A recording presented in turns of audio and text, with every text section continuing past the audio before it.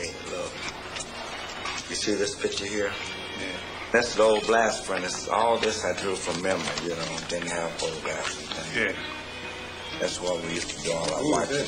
Well, they were the washwomen. You used to out to the tree and watch. And this is me when I used to lead a blind man around and take up nickels and dimes and pennies for him. And this is the guy they called Cheese, used to play piano from uh, Birmingham, Alabama.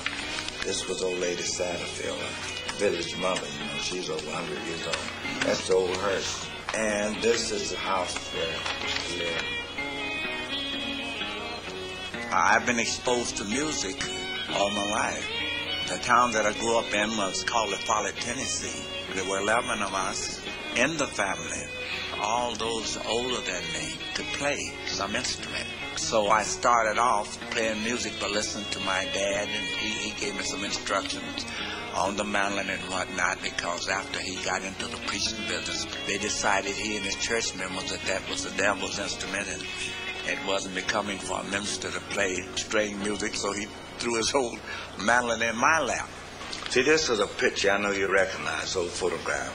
Sure. We used to play in all the damn hedges and highways, street corners, and everywhere. Country fairs. And you know, during that time, there was a whole lot of black fiddlers who could really play.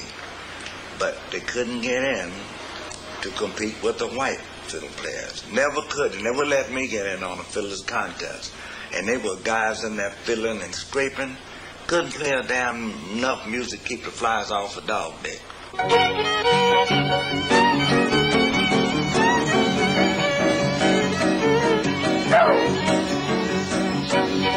Many people didn't know, especially those in the cities, you know, that black people, you know, black musicians, string bands, whatnot, played country music too. We used to play hoedowns and all that sort of music, like Ida Red, John Henry, and uh, Cackling Hen. That's really a hard number to do.